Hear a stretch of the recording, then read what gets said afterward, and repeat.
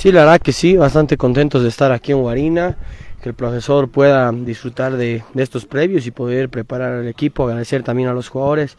Entendemos de que eh, son días eh, que muchos equipos están tomando para dar un descanso, pero nosotros tenemos una necesidad, reencaminar el equipo, mejorar eh, seguramente el rendimiento individual y colectivo del, equipo y entendemos de que el profesor necesita este tiempo para poder eh, tenerlos a los jugadores concentrados y un poco más de cerca, ¿no? Estamos contentos por el gran partido que se ha hecho, sobre todo en la actitud eh, y además hay que eh, destacar que la defensa ha estado sólida, era lo que nos venía fallando partidos anteriores. Entonces estamos contentos, pero sabemos de que todavía hay que seguir mejorando, hay que seguir trabajando y creo que en el campeonato tenemos muchas eh, oportunidades para, para poder eh, competir de igual a igual ante los mejores. En ningún momento ha habido desunión. Entendemos de que a veces eh, se necesitan cambios porque el equipo no táctico no, no andaba bien,